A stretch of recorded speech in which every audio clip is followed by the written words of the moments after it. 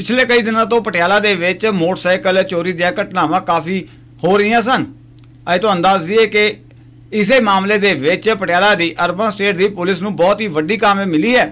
ਇਸ ਸੰਬੰਧੀ ਡੀਐਸਪੀ 2 ਜਸਵਿੰਦਰ ਸਿੰਘ ਟਮਾਣਾ ਨੇ ਪੱਤਰਕਾਰਾਂ ਨੂੰ ਜਾਣਕਾਰੀ ਲਈ ਦੱਸਿਆ ਕਿ ਮੋਟਰਸਾਈਕਲ ਚੋਰੀ ਕਰਨ ਵਾਲੇ ਗਿਰੋਹ ਦੇ ਦੋ ਵਿਅਕਤੀਆਂ ਨੂੰ ਗ੍ਰਿਫਤਾਰ ਕੀਤਾ ਗਿਆ ਹੈ। ਇੰਨਾ ਹੀ ਨਹੀਂ, ਇਹਨਾਂ ਚੋਰਾਂ ਤੋਂ 21 ਮੋਟਰਸਾਈਕਲ ਅਤੇ ਕਾਫੀ ਐਕਟਿਵਾ ਵੀ ਬਰਾਮਦ ਹੋਈਆਂ ਨੇ। ਉਹਨਾਂ ਨੇ ਕਿਹਾ ਕਿ ਅਦਾਲਤ ਵਿੱਚ ਇਹਨਾਂ ਨੂੰ ਪੇਸ਼ ਕਰਕੇ ਇਹਨਾਂ ਦਾ ਰਿਮਾਂਡ ਲਿਆ ਜਾਵੇਗਾ ਅਤੇ ਇਹਨਾਂ ਤੋਂ ਡੂੰਘਾਈ ਨਾਲ ਪੁੱਛਗਿੱਛ ਕੀਤੀ ਜਾਵੇਗੀ। ਉਹਨਾਂ ਨੇ ਕਿਹਾ ਕਿ ਭਵਿੱਖ ਦੇ ਵਿੱਚ ਹੋਰ ਕੀ ਕੁਝ ਗ੍ਰਿਫਤਾਰੀਆਂ ਅਤੇ ਬਰਾਮਦਗੀ ਇਹਨਾਂ ਤੋਂ ਹੋਣ ਦੀ ਸੰਭਾਵਨਾ ਹੈ, ਉਹ ਸਾਰਾ ਕੁਝ ਮੀਡੀਆ ਨੂੰ ਦੱਸਿਆ ਜਾਵੇਗਾ।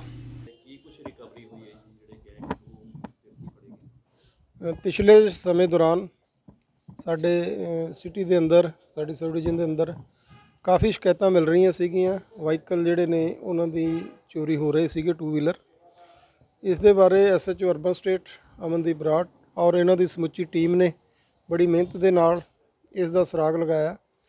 ਕੱਲ ਇਹਨਾਂ ਨੂੰ ਬੜੀ ਵੱਡੀ ਕਾਮਯਾਬੀ ਮਿਲੀ ਹੈ, ਜਿਹਦੇ ਵਿੱਚ ਦੋ ਵਿਅਕਤੀ ਇਹਨਾਂ ਨੇ ਰਾਉਂਡ ਅਪ ਕੀਤੇ ਸੀਗੇ, ਲਖਵੀਰ ਸਿੰਘ ਔਰ ਇਕਬਾਲਪ੍ਰੀਤ। ਦੋਨਾਂ ਨੂੰ ਜਦੋਂ ਪੁੱਛਗਿੱਛ ਕੀਤੀ ਇੰਟਰੋਗੇਟ ਕੀਤੇ ਗਏ, ਇਹਨਾਂ ਕੋਲੋਂ 25 ਵਾਹੀਕਲ ਜਿਹੜੇ ਨੇ ਸਾਨੂੰ ਟੂ ਵੀਲਰ ਬਰਾਮਦ ਹੋਏ ਨੇ। ਉਹਦੇ ਵਿੱਚ ਮੋਟਰਸਾਈਕਲ ਔਰ ਕਨੈਟਿਕ ਜਿਹੜੇ ਨੇ ਸਕੂਟਰ ਹੈਗੇ ਨੇ। ਕੇਸ ਰਜਿਸਟਰ ਕਰ ਲਿਆ। ਇਹਨਾਂ ਦਾ ਪੁਲਿਸ ਰਿਮਾਂਡ ਜਿਹੜਾ ਹੈ ਲਿਆ ਗਿਆ। ਫਰਦਰ ਜਿਹੜੀ ਹੈ ਇਨਵੈਸਟੀਗੇਸ਼ਨ ਚੱਲ ਰਹੀ ਹੈ।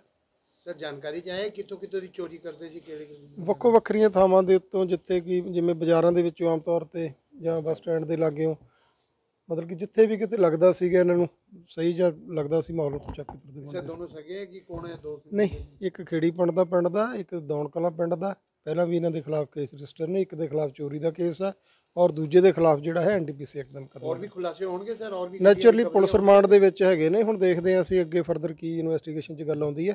ਉਹਨੂੰ ਉਸ ਤਰੀਕੇ ਨਾਲ ਡਿਵੈਲਪ ਕਰਨਾ thank you Avon Punjabi TV ਦੇ ਲਈ ਪਟਿਆਲਾ ਤੋਂ ਬਲਜੀਤ ਸਰਨਾ ਦੀ ਰਿਪੋਰਟ।